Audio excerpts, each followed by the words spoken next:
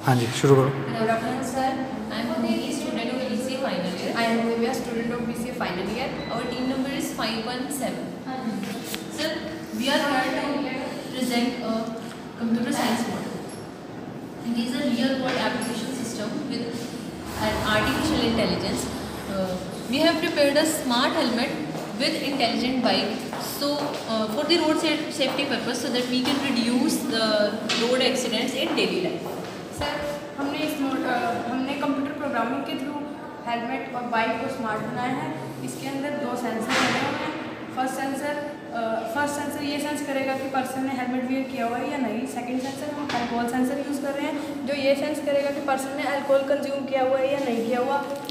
आप देख सकते हैं, ये अल्कोहल सेंसर है हमारे पास और ये कंज्यूम बताएगा। और इसके अंदर एक ट्रांसमीटर लगा हुआ है, जो ट्रांसमिट करेगा वैल्यूज़ को और रिसीवर को सेंड करेगा। रिसीवर है हमारा बाइक में लगा हुआ है और जो रिसीवर से जो वैल्यू आएगी वो माइक्रो कंट्रोलर में जाएगी। माइक्रो कंट्रोलर हम 8051 यूज़ कर रहे हैं और हम इसमें कील की प्रोग्रामिंग की है जो हमने और की सॉरी सी की प्रोग्रामिंग की है और कील कंपाइलर हम यूज़ कर रहे हैं इसके अंदर। एक मोटर ड्राइवर है और जो हमारे मोटर को कंट्रोल करेगा।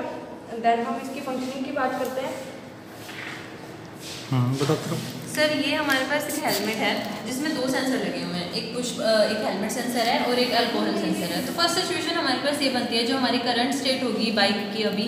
हम पर्सन ने अल्कोहल कंज्यूम नहीं किया बट उसने हेलमेट भी वेयर नहीं की हुई। दैट मीन्स हमारी बाइक रनिंग में नहीं होगी। जैसे ही वो हेलमेट को पहनेगा, हमारी बाइक जो है रनिंग स्टेट में आ जाएगी। अब जैसे उसने वेयर किया हेलमेट पर्सन ने, और यहाँ से कुछ बटन ऑटोमेटिकली ऑन होगा, और यहाँ से आप देख सकते हो, सर, हमारे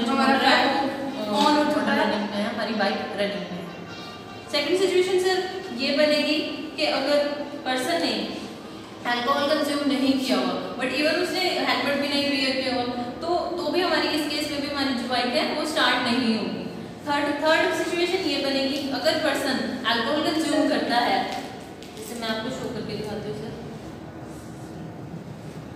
ये हमारा अल्कोहल सेंसर है जो सेंस सेंस करेगा। अल्कोहल यहाँ पे हमारी, देख सकते हैं आप, मोटर रनिंग में नहीं है क्योंकि इन्होंने अल्कोहल कंज्यूम किया हुआ है, इसलिए हमारी जो मोटर है वो रनिंग में नहीं है। यहाँ से मैंने कुछ बटन ऑन किया हुआ दैट मीन्स कि पर्सन ने हेलमेट वेयर किया हुआ है, लेकिन उसने अल्कोहल कंज्यूम कर रखा है तो इस केस में भी हमारी जो बाइक है वो स्टार्ट नहीं होगी